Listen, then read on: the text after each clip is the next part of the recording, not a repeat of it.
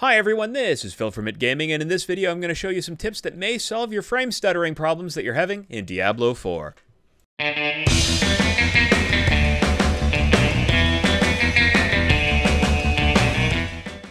Frame stuttering is a problem that a lot of people have been having in Diablo 4, at least at launch, and this is a good example of it.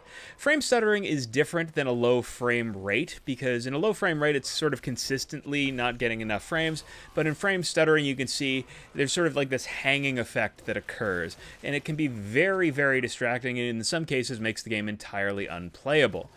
To make sure that what you have is indeed a frame stuttering issue and not a frame rate issue, you can go into your options and go into the graphics tab and make sure that the settings aren't cranked beyond what your computer is capable of producing.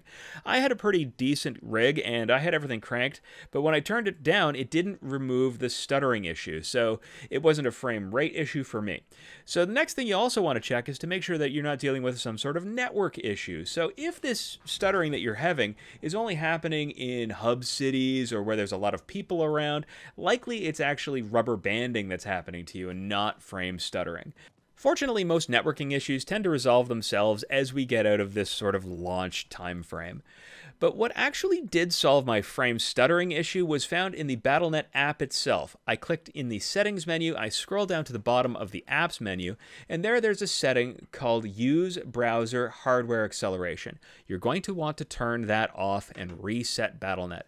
When I did that, most of the frame stuttering that I was experiencing went away completely. Now, obviously, this isn't going to solve everybody's problems, but hopefully, this solves the problems for some of you. Any more tips or tricks about fixing frame stuttering in Diablo 4? Tell us what they are in the comments below. If you found this video useful, please feel free to leave a like, comment, or subscribe to this channel. And as always, have fun out there.